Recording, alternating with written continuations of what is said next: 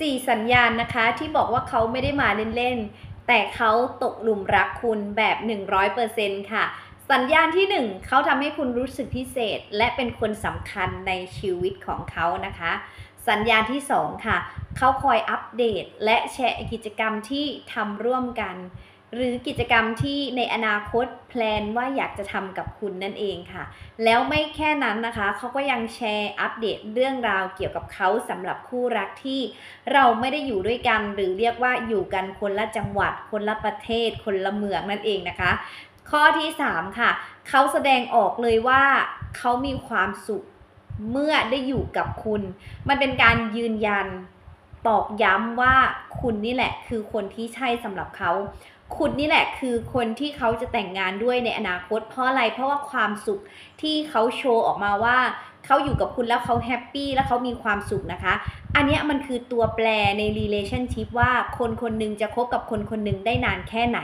มันความรู้สึกที่มีความสุข ความรู้สึกที่สบายใจในการคบคนคนนั้นค่ะ ซึ่งมันจะออกมาโดยความรู้สึกที่เขาจะตัดสินชัดเจนกับตัวเองว่า say yes กับคนคนนี้เนาะสุดท้ายข้อที่ 4 นะคะ เขาทำให้คุณรู้สึกสบายใจอ่าเวลาที่ทำให้คุณรู้สึกสบายใจนะคะ เขาเองก็ไม่ต้องห่วงคุณ ไม่ต้องกังวลเกี่ยวกับว่าคุณจะเป็นยังไง คุณจะนอกใจเขาไหมหรือคุณจะใช้ชีวิตอยู่ยังไงพูดง่ายๆว่า เขาเชื่อใจคุณ เขาทำให้คุณรู้สึกสบายใจ เขาทำให้เขารู้สึกสบายใจด้วยเช่นกัน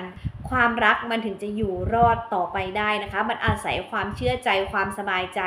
ของกันทั้งสองฝ่ายเนาะ ดังนั้นนะคะ ใครได้เจอคนลักษณะที่โคเชมเล่ามาในสีสัญญานี้นะ แสดงว่า คุณอยู่ในโหมดของความรักเรียบร้อยแล้วนะคะ ทีนี้ใครอยากจะทำให้ทุกอย่างที่เราเจอที่เราประสบมาทำให้มันประสบความสำเร็จมากขึ้นโคชเอมแนะนำให้มูสิ่งนี้นะ ไว้กับตัวเองนะคะ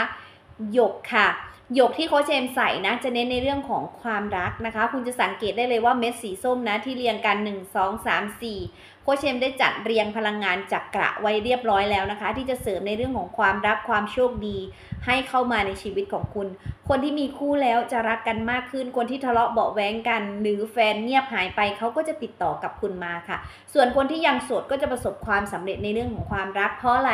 เพราะว่าเราใส่หินนอกจากเป็นหยกที่เป็นมงคลแล้ว แต่มันยังเสริมพลังจักระในตัวเราที่เป็นสีส้ม แล้วเม็ดสีขาวแสดงถึงความลัคกี้ความโชคดีในตลอดชีวิตที่คุณได้